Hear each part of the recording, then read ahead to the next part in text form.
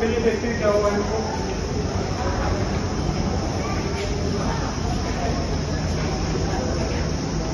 आज मैं माफ़ी चाहूँगा आपसे, लेकिन आज इन्हें बचाना संभव नहीं हो पाएगा। शायद इन्हें बीड़ी, गुटखा तम्बाकू से ऐसा रोग हो गया है, जिसे बचाया नहीं जा सकता। तो आज विश्व तम्बाकू निषेध दिवस है। ये 31 मई 2023 का दिन विश्व तम्बाकू निषेध दिवस के रूप में मनाया जाता है। वैसे तो हम देखते हैं कि टीवी मीडिया चैनल्स और अखबारों के माध्यम से इसके पक्ष में ही प्रचार प्रसार होता है। जैसे कि क्यों इसे कंज्यूम करना चाहिए?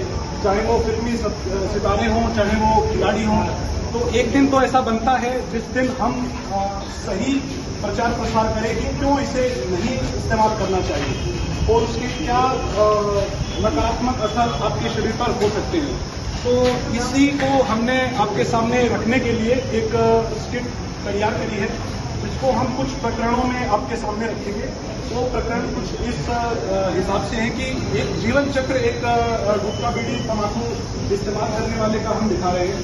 वो कॉलेज के समय से उसकी मध्यावस्था हम प्रकरण आपके सामने पेश करेंगे तो पहला प्रकरण है कि जब वो अपने स्कूल बोर्ड के पेपर के बारे में जब चार दोस्त बात कर रहे होते हैं तो उस समय नशे की आदत शुरुआत की होती है। तो एक ऐसा प्रकरण आपके सामने पेश करते हैं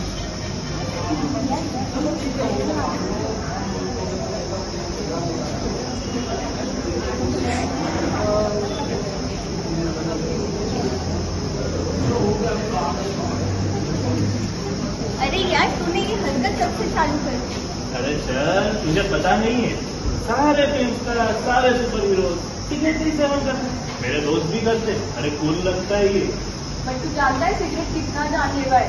ये बहुत बड़ी बीमारी कर सकता है इसे। तो जिन फ़िल्म की बात कर रहा हूँ मूवी के पहले क्लिप चलता है। तम्बाकू वाले आदमी का क्या अच्छा, होगा वो तो तुझे? अच्छा वही वाला मेरा नाम मुकेश है वाला। अरे चलो चलो मेरे को कुछ नहीं हुआ तो आइए हम सब आज मिलकर एक संकल्प लेते हैं साथ में। तम्बाकू से नाता छोड़ो, स्वस्थ जीवन से नाता जोड़ो। तो ये प्रकरण आपने देखा जो इनके स्कूली अवस्था का था। तो ऐसे ही जीवन चक्र आगे बढ़ता है और एक और प्रकरण है जिसमें कि ये अपने कॉलेज के समय में होते हैं करने से उनके बीच की एक इंटरेक्शन को हमने प्रसारित करने का प्रयास किया। देखिए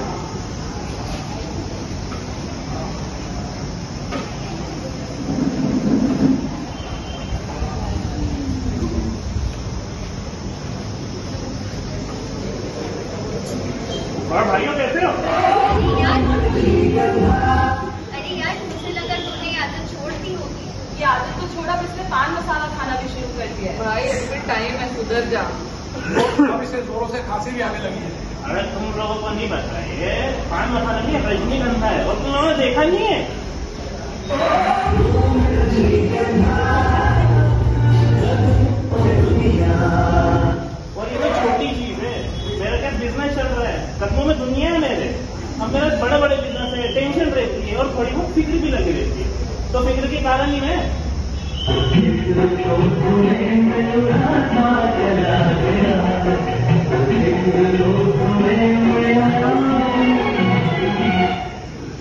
और ये तो चलो चलता ही है अभी तो मेडिकल कॉलेज है। कबीर सिंह जी तो बनना है हम लोग को? ओ कबीर सिंह सुधर जा।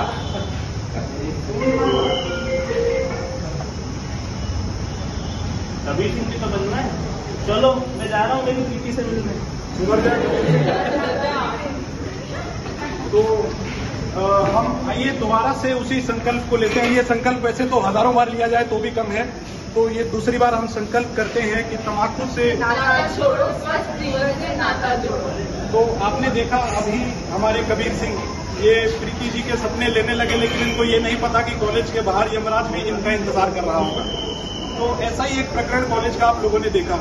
पर ये स्टोरी दुख से कब भर जाती है जब ये अपने मध्यावस्था में पहुँचते हैं जब इनका मध्यवर्ग में जीवन आता है। तब ये कहानी थोड़ी दुख से भर जाती है। जब कॉम्प्लिकेशंस और जीवन चक्र आत्मचिंतन से इनसे जब मुलाकात करता है इनमें वो खुशी नहीं रहती। तो एक मध्य वर्ग का कॉलेज के दस साल के बाद का जीवन चक्र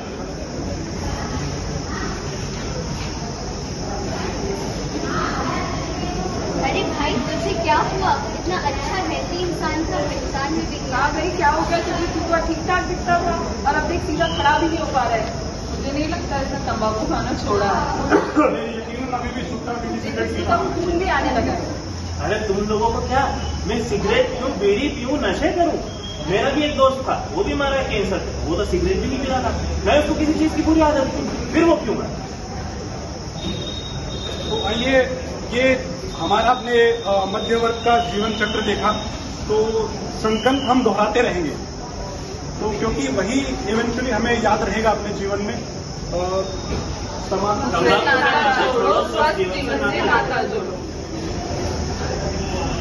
अब आप लोगों को समझ में आ ही गया होगा कि इंसान चाहे कितना भी खून क्यों ना हो वो अपने मध्यावस्था तक आकर बीमार पड़ने ही लगता होगा। तो ये एक कन्फ्रंटेशन का एक प्रकरण है, जिसमें वो गिल्ट की अवस्था में है।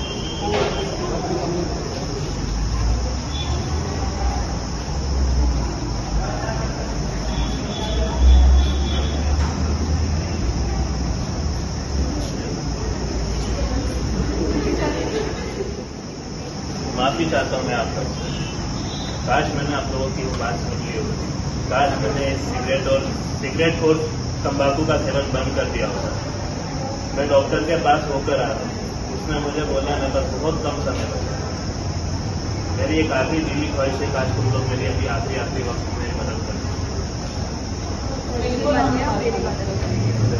ये आपने देखा यही एक बीड़ी सिगरेट तंबाकू सेवन करने वाले व्यक्ति का हाल अंतिम में होता है। चाहे वो जवानी में कितना ही स्मार्ट क्यों ना हो, चाहे कितना ही पढ़ाई में इंटेलिजेंट क्यों ना हो, ये आदत हमारे देश दुनिया में बहुत ही डीप तक फैली हुई है और इसी के, इसी को कई लोग अलग अलग प्रकार से जस्टिफाई करते हैं। जैसे कि कुछ लोगों का कहना है कि जीवन बड़ा होना चाहिए, लंबा नहीं होना चाहिए।